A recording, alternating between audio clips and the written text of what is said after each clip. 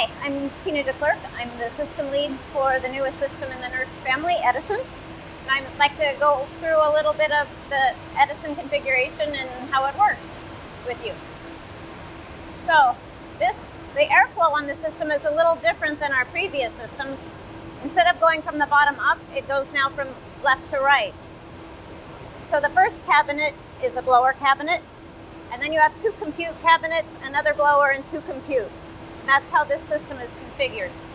If you look inside the machine, the way it's cooled is there's a cooling coil on the right side of each of the compute cabinets. And the air pushes through that cooling coil to cool the next system in the rack. Each one of these is a compute module. There are four nodes per module. The right side is compute nodes only. On the left side, you could also have I.O. nodes. The I.O. nodes only have two nodes per module.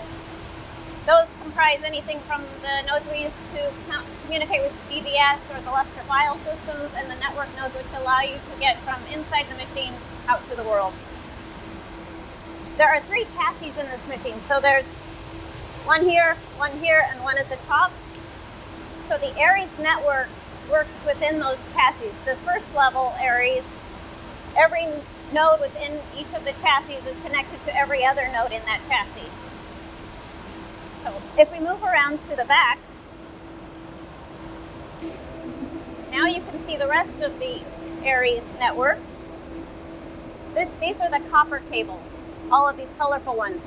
These connect each one of the chassis and each one of these two cabinets to each other in an all-to-all configuration. And then the final layer are the optical cables. These go through the top and connect every chassis or every cabinet pair to every other cabinet pair in the cluster. And these go through these overhead racks that you see here.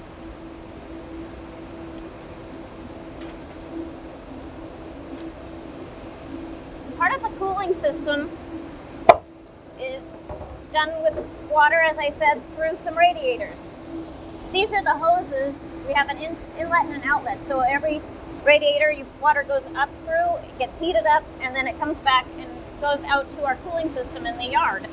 To get a better view of the, what a compute module looks like, we had this set up.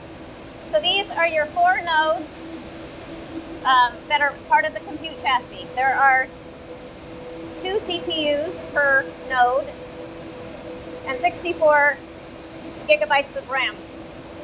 This is the Aries module, so that's where all of the network communication goes through. All of these racks, the seven racks in the front, are the three file systems that you use the Lustre file systems. So we have two that are at two racks each, and the third one is three. These are made up of MMU. This is where all the metadata is managed, is in this first part of the cabinet.